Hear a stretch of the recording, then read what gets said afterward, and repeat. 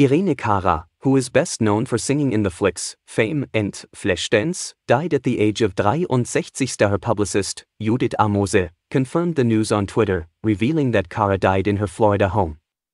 The cause of death is presently unknown, and details will be disclosed as soon as they become available.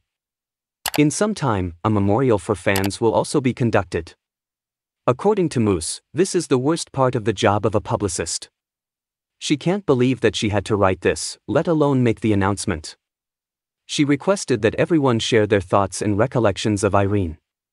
She'll be reading them all, and I'm sure she'll be smiling from heaven. She cherished her followers. Cara rose too.